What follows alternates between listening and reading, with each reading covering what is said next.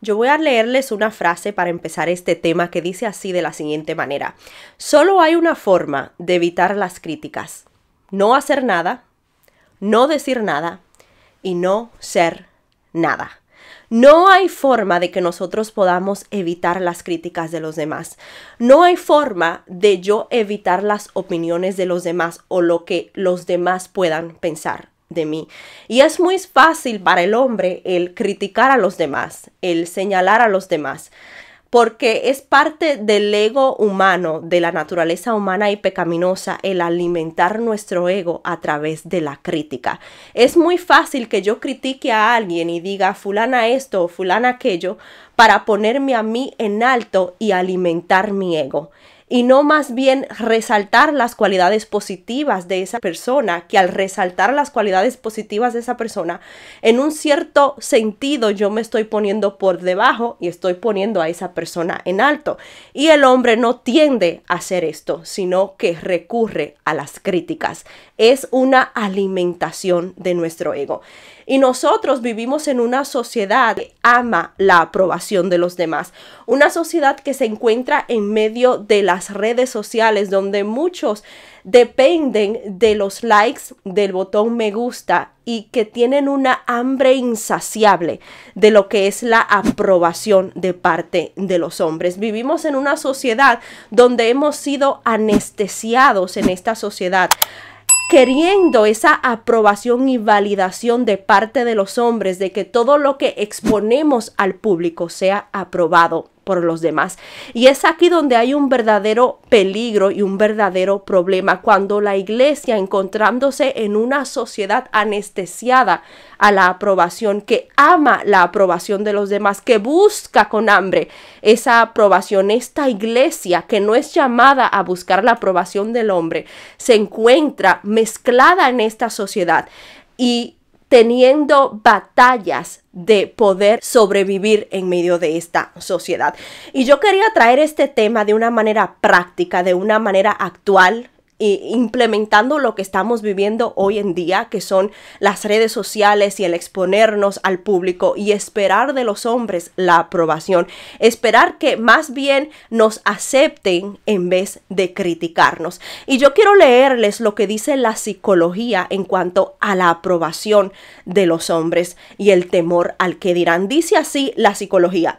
El miedo al que dirán frecuentemente esconde unos niveles patológicos de necesidad de aprobación constante. Cursa con baja autoestima, ansiedad, tristeza y aislamiento.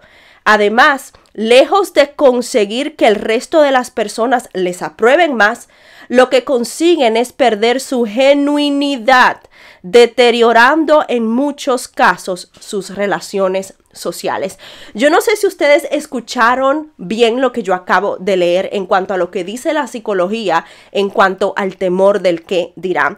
La psicología asegura que el temor al que dirá es un ciclo vicioso que vuelve y se repite, porque al nosotros temer lo que pueda decir el hombre, nos disfrazamos en una imagen que no somos nosotros mismos, creamos de nosotros una pantalla y una falsedad que a los hombres ver esta falsedad, poder discernir la falsedad en nosotros y la ingenuidad, entonces recurren a rechazarnos. Y cuando nos sentimos rechazados por los hombres, volvemos a tener esa hambre de aprobación y volvemos a repetir el ciclo vicioso. Y por esto yo quería traer este tema en el día de hoy, a ver de qué manera nosotros como iglesia de Dios podemos salir de ese ciclo vicioso en el cual la sociedad nos ha metido queriendo la aprobación del hombre, siendo rechazados y incrementando el hambre de aprobación del hombre. Yo quiero meterme a la palabra y explicar el peligro que hay en nosotros querer ser aprobados por los hombres,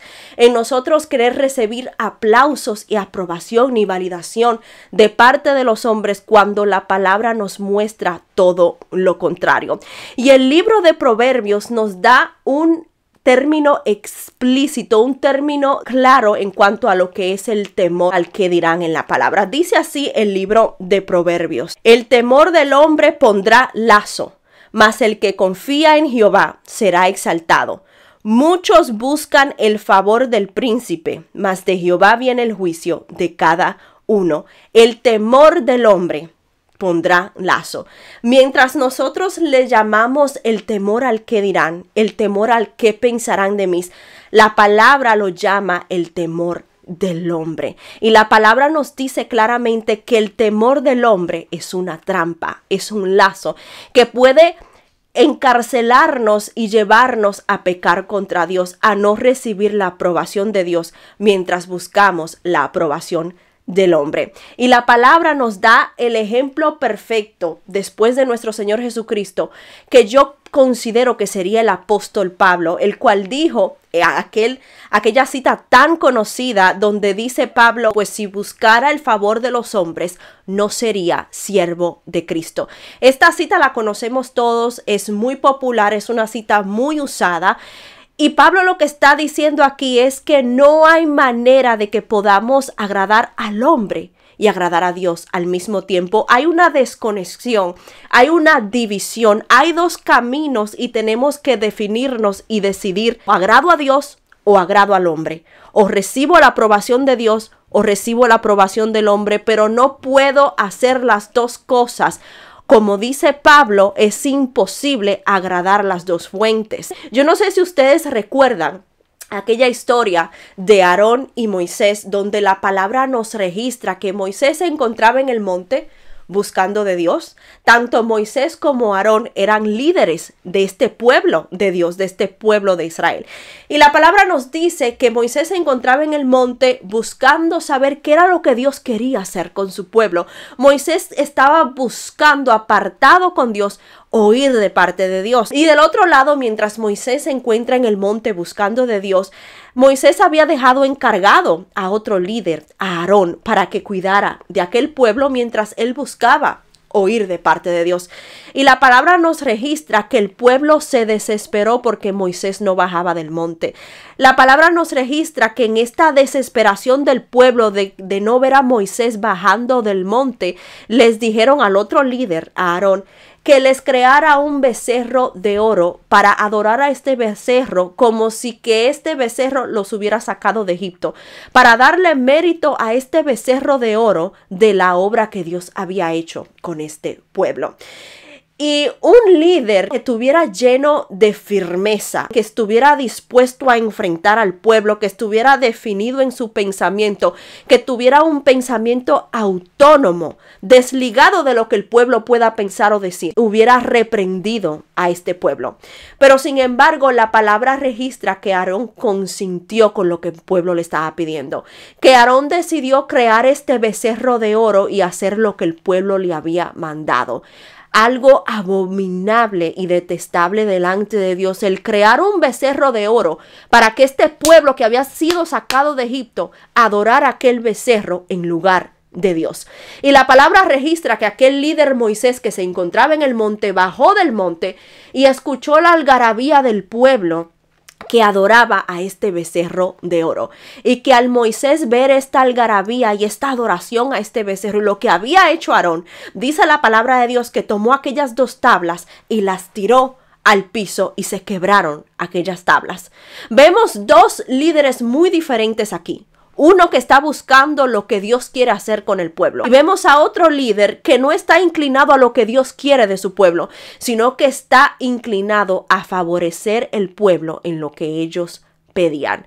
Nosotros asimismo, como estos dos líderes, nos encontramos en medio de una sociedad que nos bombardea pidiéndonos que satisfagamos lo que esa sociedad nos pide, pidiéndonos que nos conformemos a este siglo y que al igual que esta sociedad y que al igual que la norma en la que vivimos en este tiempo donde todos buscan la aprobación, también nosotros como iglesia de Jesucristo también nos volvamos hombres que buscan aprobación de los demás. Y aquí hay un peligro porque en vez de seguir lo que hizo Moisés, de buscar la voluntad de Dios aparte, de tener un pensamiento autónomo a pesar de lo que el hombre pueda decir, nos convertiremos en Aarones que buscaremos más bien el favor del pueblo, que buscaremos más bien acomodar lo que el pueblo quiera, hacer lo que el pueblo me pida, hacer lo que la sociedad me pida, desagradando a Dios y volviéndome abominable en mi manera de proceder delante de Dios. Yo quería tocar este tema porque nosotros como iglesia nos hemos ablandado, nos hemos anestesiado en medio de esta sociedad. Nos hemos vuelto hombres blanditos, mujeres blanditas, frágiles, cuando nos comparamos con aquellos apóstoles y hombres de la iglesia primitiva que estaban firmes en su decisión, que estaban firmes en su pensamiento y que ponían la decisión de Dios por encima de cualquier que dirán de los hombres. Los apóstoles en un momento se encontraban hablando de la palabra delante del concilio dice la palabra de Dios que aquellos hombres del concilio les preguntaron a los apóstoles, ¿no le dijimos a ustedes que eh, dejaran de enseñar en ese nombre? Y los apóstoles les responden, Pedro y los apóstoles que estaban con él, que es necesario obedecer a Dios antes que a los hombres. Los hombres de aquella iglesia primitiva, de aquellos tiempos, no estaban detrás de la aprobación del hombre. Pero al nosotros encontrarnos en medio de esta sociedad, nos hemos anestesiado, nos hemos vuelto blandos, nos hemos vuelto semejantes a Aarón. Y por eso quería traer este tema para nosotros ver de qué manera podemos alejarnos de ese temor del hombre. Yo quiero compartirles tres soluciones que yo creo que si implementamos en nuestras vidas podremos alejarnos del temor al que dirán. Y la primera solución que yo pienso puede servirnos es el aceptar las críticas de los demás. Es que nosotros decidamos vivir una vida donde aceptemos que la realidad de la sociedad en la que vivimos es que nos van a criticar. Que nosotros andemos por el mundo preparados para cualquier crítica. Que nosotros no seamos sorprendidos cuando de nosotros digan cualquier cosa, sino que andemos dispuestos a recibir críticas, dispuestos a ser criticados. Que la crítica no nos toque, no nos dañe, no nos roce ni siquiera, que más bien nos resbale. Que nosotros lleguemos a ese nivel donde podamos aceptar cualquier crítica y ser inmovidos por esas críticas. Y así como aquella crítica y murmuración de María y Aarón les resbaló a Moisés y entonces dejó que Dios lo defendiera, que las críticas también así no puedan tocarnos, que nosotros lleguemos a un nivel donde estemos dispuestos a ser criticados, donde no nos importe lo que diga el hombre, porque lo que Dios ha dicho de nosotros es lo que tiene peso, que nosotros nos independicemos totalmente, que nosotros nos independicemos de lo que dice el hombre, de los likes, de la aprobación, de la validación del hombre, de todo lo que el hombre pueda pensar, independientes de todas esas críticas y comentarios de los hombres y dependientes de Dios. Que Dios y su palabra sea nuestro punto de referencia.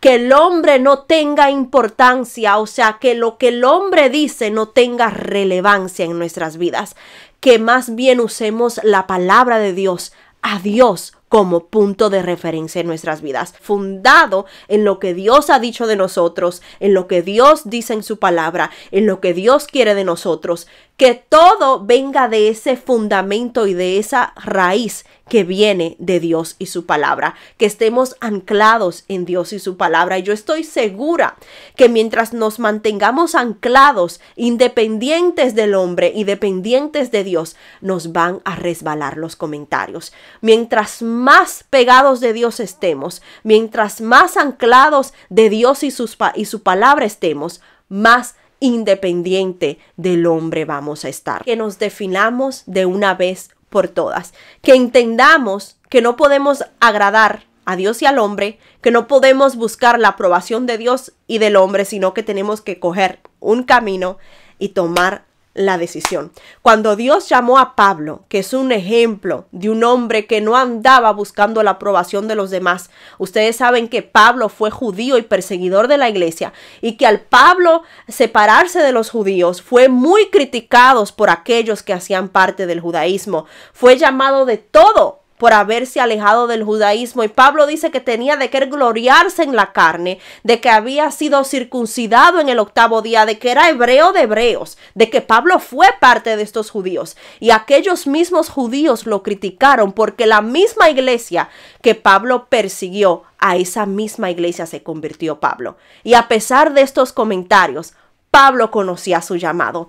Pablo conocía a quien lo había llamado. A pesar de las críticas de, lo, de las personas de las cuales Pablo se había alejado, a pesar y por encima de cualquier comentario, Pablo siguió adelante con el llamado que Dios le había hecho. Entonces, cuando nosotros tomamos la decisión, o busco la aprobación del hombre, o busco la aprobación de Dios, o me lleno de temor del que dirán, o me lleno más bien de un deseo de agradar a Dios, y tomo la decisión de irme por ahí. Esta es la decisión que había tomado Pablo. Ojalá que lleguemos a ese nivel donde las críticas puedan resbalarnos y en vez de inclinarnos a buscar la aprobación del hombre como lo hace toda esta sociedad y el movimiento de las redes sociales, busquemos más la aprobación de Dios, busquemos agradar a Dios.